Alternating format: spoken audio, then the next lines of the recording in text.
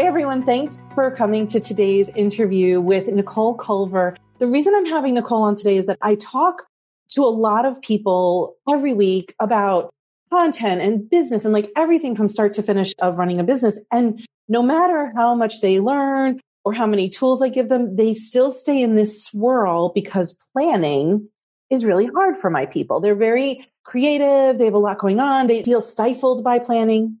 And what I know about planning is it's a habit that we build and our mindset is often in the way of it, mindset garbage. So today I am bringing on Nicole Culver, who is a mindset expert and a business coach. And I actually work with Nicole in a project that she has called the Quantum Launch Program.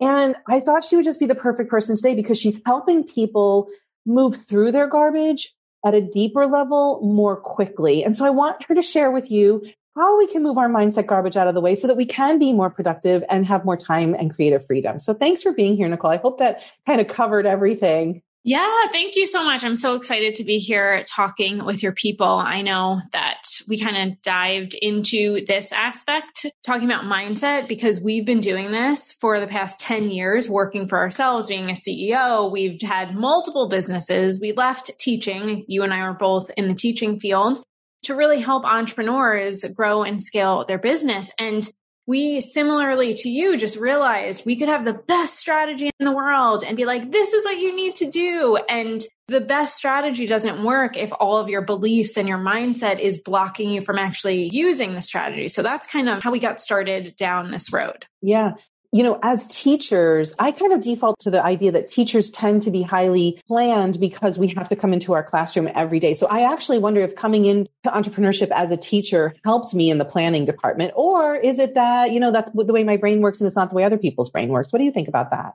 Yeah, it's so interesting because I was like the I I say I've lived my life doing the least amount of work to get the biggest result my entire life. Like if you saw my teaching plan book, you probably would have been absolutely shocked and baffled because it had like one word. it had like one word. It was I'm so grateful it was back in a time where no one was looking at my planner because I would have one word for like each block. And to be honest, I just did that because I felt like I should do that. But I always really, I just went with my intuition and, of course, covered the things we needed to. But to what you're saying, I think a lot of people think that we're just supposed to be born into this whole idea of entrepreneurship or being a CEO. And really, some of it is just about creating habits and getting into the rhythm. And obviously, Jen, that was a habit you created a long time ago. Yes, habits are easier for some people, but if you think about it, we all have habits. The way you wake up in the morning is a habit and a routine. And I think there's some stat like by the age of 40, 99% of what we do, don't quote me on that exact number, but it's some astronomical number that by the time you're 40, like 99% of your day will be on autopilot routines. So everyone has habits and routines. They might not just be the habits and routines that are getting you to where you want to go. I'm loving this already because I had this assumption about teachers, but you've already broken that assumption for me. So this is just well, like a well, habit that quit after five years. So I don't know. Well, I did it for 150 years. So I still say I would still be teaching if it wasn't for the crappy essays and the parents who would call me all the time. Okay, so we have determined that planning is a habit. Uh, planning is necessary for entrepreneurship success. So talk to me a little bit based on what you've seen over the time that you've been an entrepreneur. What do you see in your clients that they struggle with these kind of, you don't want to say it's executive function stuff. I just think it's really like the simple habits that will move us forward. What do you see your clients struggling with? Well, the first thing is that we live in this time, which is really interesting, where it's just like do more, do more, do more. And the truth is, business can be really simple. There's like three things in your business that are going to drive revenue. And yes, they can be different for different businesses. But when we live in this society of always doing more, most entrepreneurs overcomplicate what they need in their business. The truth is, every business needs three things, right? You need traffic, you need eyeballs, you need leads, a way for people to raise their hand and say, I want to work with you further. And then you need a way to get to help people further to get the sale. And that can be so simple. Yet when you listen to the noise that is online marketing or, you know, wherever, you know, the media, it's so noisy that it can be really hard to discern what's the TLC, what's the traffic leads and conversion system I need. And then you have to trust yourself that you know what you're doing and you know how to track all that. The biggest issue, I don't even think, I guess it is a mindset issue, but it's really just in the overcomplicating. And I think it's just pervasive in so many people's lives. Like, overcomplicating your schedule, overscheduling, overcomplicating nutrition, wellness. Everything can be made like drilled down to two or three things that will drive your revenue or drive moving forward to your goals. But we overcomplicate it because we are in this more time right now. So that's the first thing I think people that, struggle yeah. with like big, big, big time. Do you have any? Let's just stop there for a second. Do you have any suggestions for what people can do to like reduce some of that complication, either tactical or mindset. Yeah, I I mean, it's kind of both because the truth is you and I both know that we can be sold everyone wants to be sold that there is a magic pill, that there's a magic pill for weight loss, there's a magic pill for money. But the truth is, you have to be willing to do something long enough to see if it will work. But what happens is most people decide they want to do something and then so you have to pick one thing. How am I going to get traffic? What's one way? Like literally one way I'm going to get traffic. So this podcast, I'm going to focus on this podcast to get traffic. Now I'm how am I going to get leads? I'm going to offer a freebie on the podcast and then I'm going to invite them to your amazing membership that you have. Now, you have to be willing to test those the one way to get traffic, the one way to get leads, and the one sales conversion for at least 90 days. But most people get to a week and then all their garbage, their limiting beliefs start coming in and they start saying, well, why aren't the sales coming in? Why aren't, why isn't my audience growing? Why is the sun shining today? And they start letting all this noise filter in. But the truth is your business doesn't have emotions. Um, your business mm-hmm. doesn't have limiting beliefs. You do. Mm-hmm. So your business needs to run long enough to see if it's working. It would be like starting a diet, and we know that people do this, starting a diet, doing it for 24 hours and being like, Am I healthy now? like we know, we know that can't happen. So your business is the same way. It needs consistency and it needs time. It just does. So the simplest way is to just pick one of each of those things. And I know that you talk about some of this. So pick one traffic system, put out content like you teach, like Jen teaches you to, put out content on your platform and then do your freebie, do your sales system, do that for 90 days and track it. And guess what? You may need more than 90 days to actually figure out if it's working, but people want to switch too fast. They want to go, okay, let's try this webinar let's try this challenge, let's try this live launch, and you don't give it time to actually be able to track da- data. So I think that was a full answer. and that's really a lot of insight for people because well, I think there's a lot of promises online about things should happen more quickly than they actually do. And I know, you know, I talk about it to try to be transparent. I know you talk about it to try to be transparent. Like this is a marathon and not a sprint. What I see on my end from my clients is we have to create a plan and then we have to work the plan. Like you were just talking about, what I think happens to people is they get bored with their plan. Yes, yes, oh, yes, they do. And my business coach and mentor um, says your business is not meant to entertain you. Go oh get God. a hobby if you want to be entertained. Like go watch a Netflix show if you want to be entertained. If you're you have to decide like what and we talk about this in the quantum launch like what's your number one value in your business? Is it to be entertained or is it to impact people? Or is it for freedom? Or is it abundance? But if your business is to entertain you then it might not be serving you in the best way. So i think we just uncovered one of the huge mindset traps of people which is I like drama and I didn't even know I liked drama and I'm drumming up drama in my business instead of drumming up business in my business. Yeah. Well, yeah. I mean, oh, I don't know how deep you want to get, but I think we're kind of all addicted. It, that's the ego in us, right? It's just kind of like the dopamine hit or adrenaline. Your biz, a lot of, and I used to like, I just want to be clear. I was here, like even up until 2020, I was in this cycle of just like that launch roller coaster and, and it would be so stressful. It would give me all the highs and lows.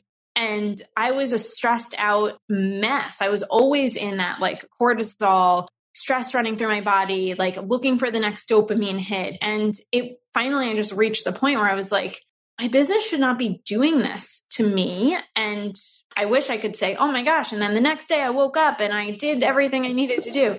No, it was like a 12 to 18 month process, but that was exactly where we were is we were just looking for that hit of just, it sounds like it is an addiction. I think it's not drugs. It's not alcohol. It's not food, but it can be very similar. You're addicted to that hit of dopamine and adrenaline. And that's why also you see, I don't know if you see this too, but a lot of entrepreneurs can get to a really unhealthy place. Like they'll have the business growth, they'll make the money, but then they're working so many hours a week and they stop taking care of themselves. And then slowly you'll see things start to crumble.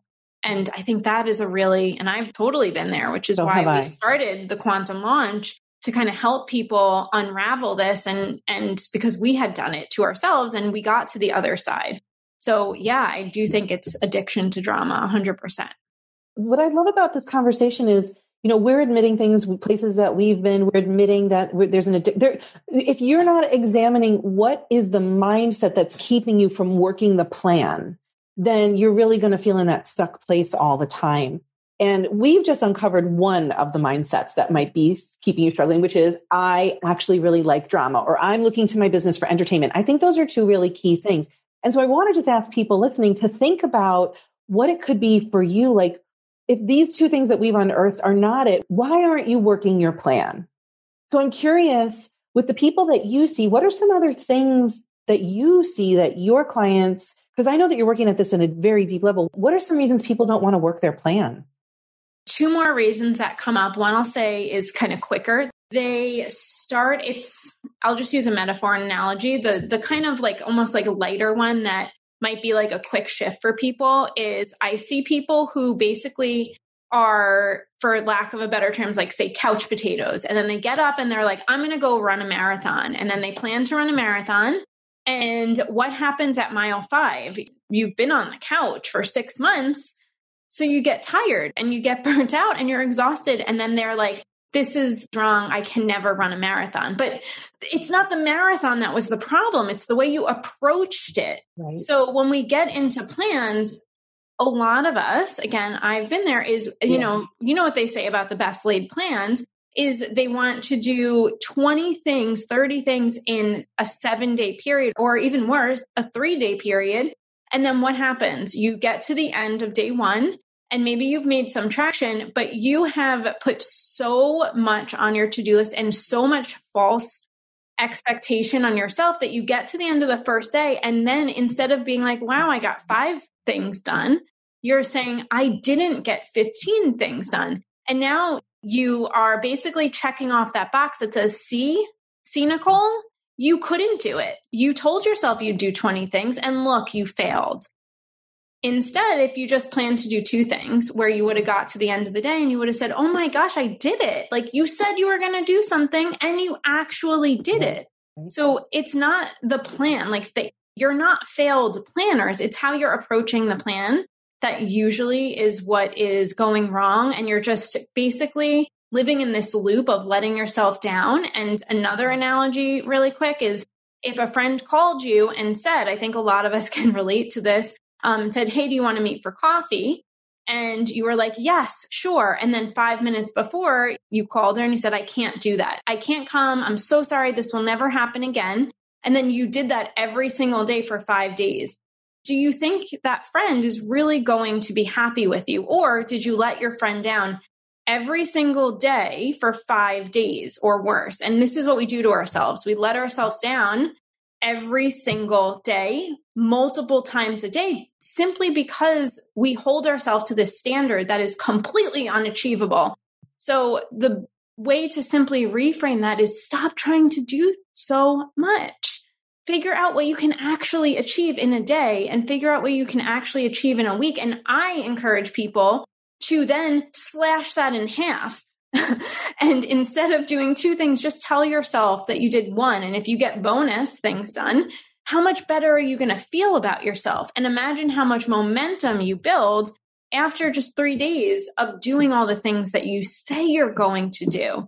And that's just the simplest thing is most people are just letting themselves down multiple times a day, every single day, and they don't have any self-trust, yes. which is pervasive not only in their business, but in their life. So if there's any goals that you haven't hit, whether it's in the quantum launch, we talk about business, but we had people go through it in relationships, in health and wellness. And it's the same thing. How you do one thing is how you do everything. So if you're letting yourself down in your business, look at where else are you letting yourself down and how can you start to rewrite that relationship just like you would with another human? How can you rebuild that relationship? Trusting yourself is probably the number one most important piece to having a successful business. Yeah, I love this specifically as I'm thinking about clients who don't do their content they expect themselves to not do it anymore. They're like, of course I didn't post today. Of course I didn't send an email today because I never do. And it's about re-earning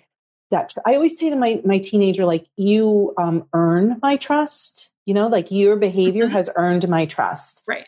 And sometimes he'll make a decision that earns my distrust. And what you're saying is we have like earned our own distrust after all these years yeah, so that's a great shift. Yeah, most people have such a broken relationship with themselves. At least, I won't say most people, but people who seem to be in my world who are attracted to me. And I find that I am a mirror for my clients. So I attract people who are going through what I have been through. So it's it's really interesting because they kind I kind of can hold the mirror up and say, "Hey, here's what I've experienced." Um, maybe I'm 36. So for a lot of the years I lived my life, I had a really broken relationship with myself. I didn't trust myself.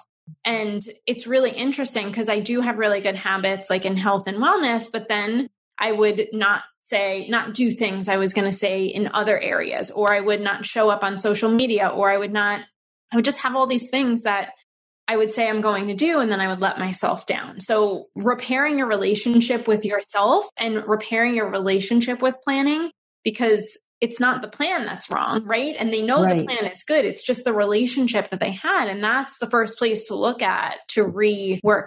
It can be really simple just by reducing the amount of things on your list, is the first place. I love that. Did you say you had a third way that we could talk about? Yeah, the, third way, which I don't know if it'll be longer or shorter, I'll try and be brief, but I, I touched upon it. And again, this is something that I majorly struggled with. And I realized it in, the, in one of my masterminds. I was at a mastermind event over the summer, a few summers ago. And it was really interesting because there was about two thirds women and one third men in the room. And these were all like high six and seven figure seven figure earners. Mm. yet there was something about when and i hate to stereotype but it was just something i observed. There was something about when the seven figure male earners got up to the room and the way that they just commanded the room and talked. And then it was just something about the women that when they stood up there you could just see that there was just all of us and i was in that group too we had all these, we would filter everything when we were sharing through these limiting beliefs that we had. And I thought it was really interesting that on the surface, it wasn't something that seemed to be as pervasive for the male, for the men in the room. So I started to dig into it more. Now, are there, I mean, my husband, Dan, like you work with him, he has worked, he definitely has had limiting beliefs. So I, of course, men deal with this 100%, but I think that it's easier for them, and I'm generalizing, but I think sometimes it's easier for them to kind of put it in a box and, and just separate it. Yes, yeah, thank yeah, you. yeah. Compartmentalize and separate it from their business a little bit easier. Is that always the case? No, 100% not. Sure. From what I've observed, women, I think, especially with all the roles and relationships we have in our life, it can meld into our business a little bit easier. Mm-hmm. So, one of the other mindset traps that I think women also get caught up into, especially when you have personal brand businesses, sure. is believing that you are your business and your business is you. And that your worth and your deservedness are tied up into your business. And it gets a lot of people stuck because their worthiness and their deservedness are kind of caught up in their business. But the truth is, to really have a scalable business, you have to figure out how to detach that because you have, you, we, me, I need the freedom to have a bad day. I need the freedom to wake up and be a little cranky. I need the freedom to not be on my A game every single day. But when your business is caught up in your worth and your moods and your emotions, it will suffer. So what we work with people with is really detaching and, and showing people that your business is here and you are here and your business needs data. It needs team members. It mm-hmm. needs you as a ceo what your business doesn't need is all your limiting beliefs yeah. that you have. Like you can have them and be over here and be working through them but we don't have to entangle them. I love that. So yeah. that really is a key piece. And and i think that that comes later for a lot of people is just realizing like okay, I have a personal brand business, but it's not me. It's not me, and it can live on its own. And starting to detangle that because if you want your business to succeed, it's like a kid kind of, it has to be able to stand on its own two legs. So, how yeah. can you um, know that your worth and your deservedness has nothing to do with your business? Like, you are just worthy because you're you, because you were put here on this earth at this time for whatever reason and your business is its own entity. So starting to really detangle that. So that last one is really deep and has a lot of, I think, tentacles to it. I'm sure that that's what you cover in the um, the quantum launch program. And do you talk about this in your content? Is this a is this a topic of conversation that you're having with people? Like, if people got onto your email list or followed you online, would they learn more about this idea? Yeah, so that's a great question. On our podcast, we talk a lot about this. So 100%. We really are starting to bring this into our content. We started a new Instagram called The Quantum Launch, which we it's brand new at the time of recording. It has a few posts. That's really where we're going to be talking about this. On our podcast, you'll hear me talk about this kind of all day long. So you can go to the shift show. That's where that's where show. I hang awesome. out. Um, on Instagram, it's still like kind of new. We're still trying to catch up over there, if we're being honest, because I love this. Yeah. We know in our business we can't do we can't do everything. So our number one platform is our podcast. So that's kind of like the most current. Mm-hmm. And I'm I show up on Instagram, but if you want this specific content, it's definitely on our podcast. Thank you for sharing that because I think that understanding the concept of what you just said is clear. Understanding how to do that, that's the work it is it is the work. And i actually just had one of our clients message me this morning. She texted me yesterday and she said oh my gosh i am going to hit my quarter income goal this month. Um oh. and like the, the income goal she set for the end of july right? That's the end of the whenever the end of this quarter is. I'm, I'm not i won't take the time. But anyway she's hitting it early essentially. And this has been an income goal that she's she's set a few times mm-hmm. honestly and that, I mean, that's happened. I've been, I have done that so many times and not hit it, and it's okay. Um, but anyway, she messaged me and said, I finally am going to hit it and I'm going to hit it early. And I said to her, like, what was the thing? Like, what is the thing that allowed you to finally break through? Because she also has a young child. Like, mm-hmm. she just, her daughter just turned one. So she's been navigating, you know, oh that, God. that first year of life the first few years is very difficult. You don't have your own life that year, that first year Ex- Exactly. And she was able to do this while being a new mom. Amazing. So, and she said, I should, I won't open my phone now and read it, but she said, like, I finally stopped and actually did the real work. And I connected with myself and I connected with God. And she just used the word God, but replace that with whatever, whatever fits for you, the universe, whatever spirituality works, your intuition, yourself she said, I finally took time to do the real work. And that really is what allowed her to get to that income goal. And I think that there is this huge misconception that a strategy, you and I have talked about this before, some outside strategy is going to save you. Yeah. And strategies are great. But if they worked for everyone, then everyone would all be millionaires. Exactly. Everyone would be multimillionaires. It would have worked. so there's something deeper going on and figuring out that something deeper really is the real work in business. I love this. Thank you for this conversation. So, um, we just want to remind everybody your plan is workable. Your plan can work. Tweak. The other thing I want to remind people about their plan is change one thing at a time. You know, if yes. you're going to change all the things, you're never going to know where the problem was. But we can all have a plan, we can all have a strategy, but until we really do this deeper mindset work, we're going to still feel overwhelmed, confused, lost, overloaded, wanting to change course all the time. So thank you for unpacking some of this for us today. It was, I think it's a really important conversation to have.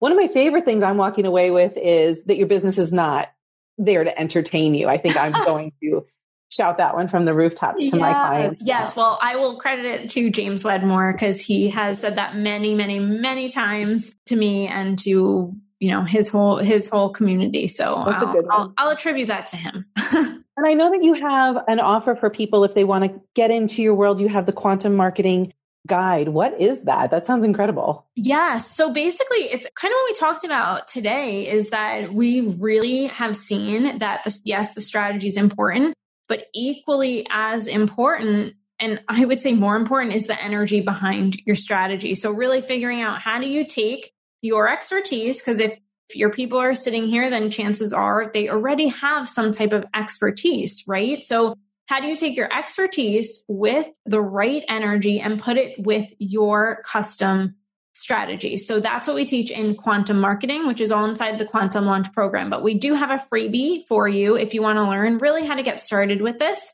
And that is at nicoleculver.co forward slash quantum. And you can download the guide right there. Thank you so much. This is super helpful. I love this conversation. Thank you for taking the time today to unpack this with me. Thank you. This was so much fun. I could talk about this stuff all day. Oh my God, me too. Thanks for showing up. I will be back next week with a new topic, but I always want you to be thinking what's one little thing that you can tweak? Not everything, just one thing. Okay, I'll see you next week. Bye.